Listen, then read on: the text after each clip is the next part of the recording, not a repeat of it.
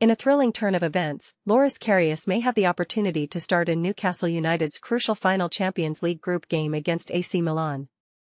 With goalkeeper Martin Dubravka facing a late fitness test, Karius could step in to help Newcastle secure a spot in the Europa League. Manager Eddie Howe is calling on fans and players to turn this match into a magical European night. He wants the fans to create a raucous atmosphere at St. James Park, just like they have throughout the season. Howe believes that the supporters have been the extra man for the team and their voices can make a difference in this crucial game. Despite injuries hampering their attacking capabilities in the competition, Howe is positive and determined to give their best performance. He wants Newcastle to embrace the drama of the occasion and make it a memorable night for everyone involved. If Karius does play, it will be his first appearance in the Champions League since his unfortunate blunders in the final back in 2018.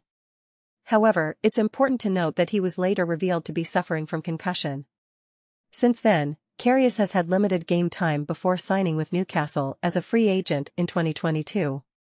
So, as Newcastle prepares for this magical Champions League decider, the question remains, will Karius seize this opportunity and help Newcastle secure their spot in the Europa League? Only time will tell, but one thing is for sure, the atmosphere at St. James Park will be electric, and the fans will be there, cheering their team on until the very end.